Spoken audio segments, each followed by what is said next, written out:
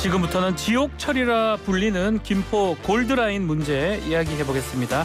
2량짜리 꼬마 열차인데 출근 시간대면 혼잡률이 최대 300%에 달할 만큼 악명이 자자합니다. 정부와 지자체는 혼잡도를 개선하겠다면서 대체 수단인 버스를 추가 투입하겠다. 또 김포, 서울을 잇는 수륙 양용버스 한강에 운영하겠다. 대책을 내놨지만 시민들의 반응은 싸늘하기만 합니다. 왜 이런 일이 발생하는지 그 원인 짚어보겠습니다.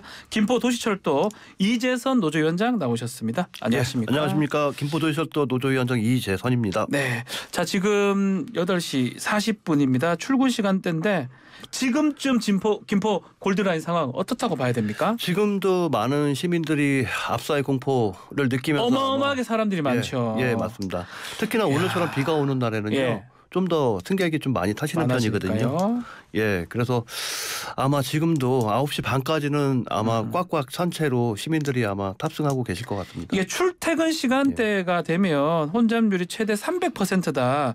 이게 감이 잘안안 오거든요. 쉽게 좀 예. 설명해 주시면 어떻습니까? 어, 300%면 콩나물 시루라고 시루라고 하는 표현이 딱 맞을 것 같은데요. 네네네. 저희 모회사인 서울교통공사 기준으로 보면 매우 혼잡에 해당하는 혼잡률이 171%고요. 171이 예, 매우 혼잡인데 예. 그거의 두 저희는- 배 가깝네요. 예, 예, 그렇죠.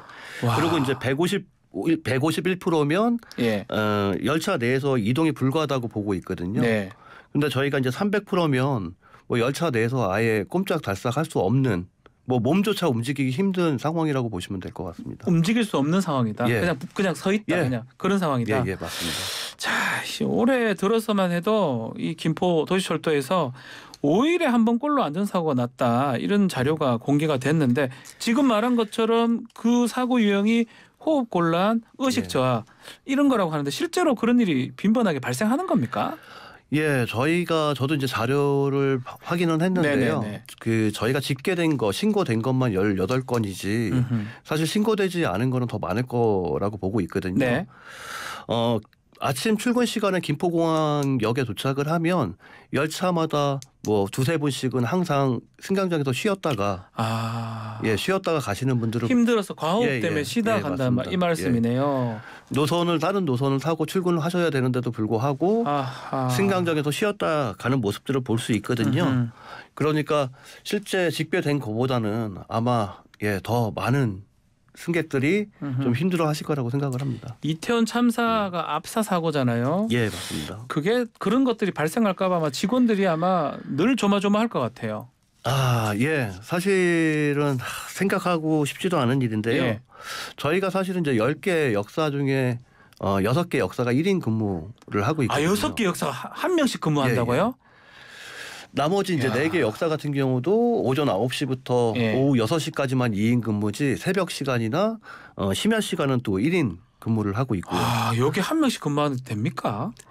예. 근데 이제 사실은 음. 얼마 전에 뭐 그저께였던 거 어저께였던 걸로 음흠. 기억을 하는데 좀 저희 직원들이 좀 많이 상처를 입었더라고요. 네. 사실 이런 상황 속에서 일을 하고 있는데 어 관계 부처에서 나와서 이제 현장 점검을 할 때 또 어떤 음. 김포시 관계자분은 네. 여기는 원래 무인 역사인데 우리가 음. 일 1인씩 근무를 시키는 거다. 무인인데 한 명을 혜택으로 주는 거다 이렇게 예. 무인으로 설계가 됐는데 아. 뭐 약간 혜택이라는 식으로 얘기를 하시니까 좀 음. 그 근무하는 직원 입장에서는 좀 마음의 상처를 좀 받았었고요. 네. 실제로 저희가 3월 28일 날 그 고천 부근에서 이제 열차 장애가 있었는데 네. 뭐 혼자서 근무하다 보니까 뭐 역산에 안내 방송도 해야 되고 음. 또 민원 전화도 받아야 되고 그렇죠. 그다음에 이제 5호선이나 9호선이나 음흠. 어, 상황도 설명을 해 줘야 되고 그다음에 미승차 확인증까지 이제 끊어 줘야 되다 다 해야 보니까 되네 혼자서. 예 예. 그러다 보니까 이제 그 현장에는 나가 수가 음. 물리적으로 나갈 수조차 없는 거죠 사실. 예. 안전요원이 좀 더 배치돼야 되는 거 아닙니까? 최소 저는 예. 대여섯 명 이상 있어도 될동 말동인데 예. 한 명이 이게 말이 됩니까? 저희가 아무래도 이제 민간 위탁으로 예. 계약이 돼 있다 음. 보니까 계약이 묶여 있다 보니 인원을 김포시에서 주고 싶어도 줄 수가 없고 아. 또 계약자인 교통공사는 뭐 본인들의 돈을 들여서까지 음흠. 그렇게 인원을 늘릴 리가 없는 거죠. 돈의 문제네 결국은. 예, 결국 맞습니다. 돈의 문제네요. 예. 김포 골드라인이 서울교통공사의 예. 자회사 형태라 보니까 민간 회사라 예, 예. 보니까 그게 문제가 된다라는 건데 근본적인 질문을 좀 드려보겠습니다. 예, 예. 두량짜리 꼬마 열차예요. 꼬마 열차. 예, 예. 이게 왜 처음부터 꼬마 열차로 출발했는지 열차가 네. 좀더 늘어나면 예. 사실은 해결될 문제 아닙니까? 예, 맞습니다. 뭐가 문제가 되는 겁니까 그러면? 저희가 이제 증명을 할 수 없는 이유가요. 네. 가장 큰 이유는 가장 큰 이유가 이제 원초적인 이유는 역사가 이량으로 설계가 되어 있습니다. 역사가 두량에 맞게 예, 예. 설, 설, 설계가 돼 있다. 예. 그러니까 뭐 다른 경전철도 마찬가지고 네. 중전철도 마찬가지지만 어 차량이 이량으로 다니더라도 향후에 증차될 것 아니면 시민들이 늘어날 거를 네. 대비해서 역사는 4량이든 6량이든 그렇게 설계를 하거든요. 음. 근데 저희는 애초에 2량짜리 차량에 2량짜리 역사를 만들다 보니까 예. 어, 확장성이 아예 없는 거죠. 아, 왜 그렇게 한 거예요? 9호선 같은 경우는 예, 맞습니다. 엄청 길거든요, 사실은. 예, 예, 예. 뭐 기, 기차 양이 예. 늘어나면 늘어나도 상관없게 예. 만들어놨는데. 근데 이제 제가 뭐 정확히 말씀드릴 예. 수는 없겠으나 사실은 저희가 그 당시에 뭐 9호선 음. 에, 유치 얘기도 있었고 또 5호선 유치 얘기도 있었는데 사실 이제 그게 다 안 되다 보니까 어 자체적으로 어 경전철을 또 그 건설을 했고 네. 사실 건설 당시에도 다량으로 역사를 해야 된다는 얘기가 있었는데 사량. 예. 근데 결국에는 이제 또 돈의 문제였던 것 같아요. 아. 그러니까 최초로 지자체의 자체 금액을 가지고 건설을 하다 보니까 네. 뭐 자량으로 했을 때는 1,500억인가가 더 든다는 음. 얘기가 있었고 그 재원 문제 때문에 사실은 그렇게 된 게 아닌가 싶습니다. 결국은 정책의 문제다 이렇게 보시는 거군요. 예, 맞습니다. 이게 이렇게 지하철역 이렇게 만들어지는 게 좀 전에 말씀하셨는데 예. 뭐 선거 이런 거 관계 있는 거예요? 저는 있다고 봅니다. 아. 예. 아무래도 뭐 선출직 공무원들이 뭐 김포시장이든 예, 예. 누구든 예, 예, 다 맞습니다. 선출직이니까요. 예, 예. 네. 아무래도 사실 시민들한테 가장 어필할 수 있는 게 음. 교통 수단 확충이잖아요. 네네네. 그 중에서도 또 지하철은 또 밀접한 관계가 있고. 네. 예. 그럼에도 불구하고 돈이나 이런 것들이 부족하니까 예. 사량짜리를 해는 게 맞는데도 예. 일량에 하고 일단은 추진을 했던 것이다 이렇게 보시는 거군요. 예, 예. 알겠습니다. 결국 대책이 지금 필요한 상황인데 지금 예. 김포도 그렇고 김포시도 그렇고 정부도 지금 점검을 하면서 대책을 지금 세우고 있는데 예. 어떤 대책이 필요하다고 보십니까? 뭐 전세 대- 전세 버스 40대가 지금 투입된다고 하긴 예, 하더라고요. 예. 저도 이제 전세 버스 추가하고 예. 뭐 수요 응답 버스를 네. 또 추가하는 거에 대해서는 얘기를 들었는데요. 사실은 그거는 이제 그거대로 대책대로 좀 음. 진행을 하는 게 맞는 것 같고요.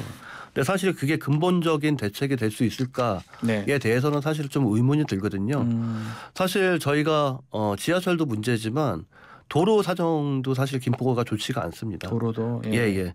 뭐 서울로 나가는 길이 올림픽대로 네. 하고 신곡 IC 교차로뿐이 음, 없거든요. 두 개밖에 없으니까. 예. 예, 예. 근데 그 길 들이 사실은 출근 시간에 엄청나게 좀 많이 음. 밀려요. 예. 그래서 버스 추가는 버스 추가대로 하되 좀그 서울로 나가는. 도로 확충이 좀 필요할 것 도로. 확충도 필요하다. 예, 예. 근원적으로. 그, 그리- 네. 네. 예. 그리고 이제 저희가 또 뭐 4만 6천 가구가 들어오는 compact city 개발이 또 확정이 되어 있잖아요. 음. 또 그런 만큼 또 한 10만 명 이상의 또 인구가 늘 수 있다는 얘기이기 때문에 네. 어타 뭐 5호선이나 아니면 뭐 9호선이든 구호선, 예. 예, 예. 그런 또 노선이 좀 추가적으로. 이 compact city가 개발되기 이전에 좀 예, 확정돼서 음. 공사가 좀 진행돼야 음흠. 그래도 향후에라도 예, 조금 안심하고 예, 운행할 수 있지 않을까. 음, 도로 확충도. 필요하다는데 예. 수륙 양용 버스 이거는 가능한 겁니까? 아, 저는 개인적으로 좀 실효성이 좀 없다고 생각을 아, 하고 있고요. 예. 아, 김포 지역은 아시겠지만 군사 접경 지역이다 그렇죠. 보니까 군사 시설이 좀 많은 곳이라 좀 제약이 있을 수도 있을 음. 것 같고요. 또 이 기사를 보고 김포 시민들이 좀 한탄하는 목소리도 아, 많아요. 한탄을 한다고요? 예, 예, 예. 어. 그러니까 뭐 압사냐 익사냐 둘 중에 음. 하나 고르라는 거냐 아, 압사냐, 익사냐. 예, 예. 네. 그런 말씀도 있고 음. 아또뭐 그 겨울에는 뭐 스케이팅 타고 음흠. 뭐 출근해야 되는 것이냐 네. 아니면은 수륙 양용 버스면 출근 시에 음흠, 구명조끼 입고 타야 되냐 음흠. 이런 좀 자조적인 목소리들이 좀 많이 있거든요. 네. 그리고 수상 택시가 사실은 그 저희 한강 수상 택시도 예- 성공한 예전에, 거는 예. 아니잖아요. 예전에. 이재명 예, 아 저기 임영 저기 예, 예. 그 오세훈 시장 할때 예, 예. 예, 전에 예. 서울에서 하려고 했던 그래서 거. 사실은 네. 수륙 양용 버스도 그렇게 실효성이 음흠. 예 있다고 보기는 좀 힘들 것 같습니다. 자이또 문제가 지금 위탁 운영 형태인데 내년 네. 9월 2024년 9월이면 위탁이 종료되고 예. 그래 되면 어떻게 되는 겁니까? 김포시가 직접 운영하게 되는 겁니까? 아, 지금 이제 사실은 예. 김포시에서 직접 운영을 하기 위해서 절차를 밟아 왔고요. 음. 예, 작년 12월 달에 이제 주민 공청회까지 해서 주민 의견 수렴에서도 아, 음. 좋은 결과가 나왔습니다. 네. 그리고 이제 현재는 경기도하고 2차 협의에 들어가 있고요. 네. 그게 이번 달 말에서 5월 초에 나오면 그 결과를 토대로 해서. 김포시 내에서 심의위원회를 구성을 해서 네. 공단 설립에 대해서 이제 예, 결정을 하게 되는데 사실은 뭐 그 부분에 대해서 조금 걱정스러운 부분이 있습니다. 걱정스러운 부분도 예, 예. 있다 이 말씀이군요. 예. 지금 막 혼란이 막 발생하면 시민들이 다 직원들한테 뭐라 할 거 아닙니까? 예, 맞습니다. 소리 지르고 욕하고 예. 그럴까? 뭐 그건 뭐 예. 직원들 고충이 가장 심할 것 같아요. 예, 사실은 이제 그 저희 역사에서 근무하는 네. 직원들이나 아니면 열차에 탑승해 있는 열차 안전원들한테 안전요원들. 예. 예, 예. 음. 왜 열차를 이렇게 만들어서 음. 힘들게 하냐고 사실 직원들한테 호소하는 경우도 많고요. 네. 특히나 이제 시민들하고 접촉이 면이 가장 많은 그 음. 직원들 같은 경우는 성희롱이나 음. 아니면 취객으로 인해서 사실은 애로사항이 좀 많은 많다. 상황입니다. 예. 자 끝으로 정부가 됐던 김포시가 됐던 당부하고 싶은 말씀 짧게 좀 부탁드리겠습니다. 아 사실은 혼잡도 문제로 인해서 시민들 고통받는 것이 큰 문제인데 네.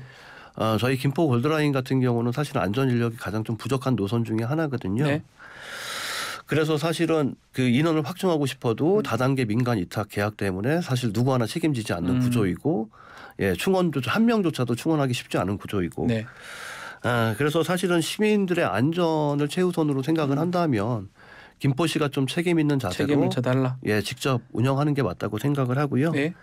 그리고 또 아까 말씀드린 것처럼 좀 뭐 모든 선출직 공무원들한테 말씀드리자면 지하철을 정치의 수단으로 좀 이용하지 마시고. 네. 시민의 발로 이용해 주십사 부탁드리고 싶습니다. 알겠습니다. 네. 자 김포시장 포함해서 관계자 인터뷰 요청 빠른 시일, 시일 내에 김포시 입장도 제가 들어보겠습니다. 오늘 말씀 여기까지 듣겠습니다. 감사합니다. 예, 감사합니다. 이재선 김포도시철도 노조위원장과 함께했습니다.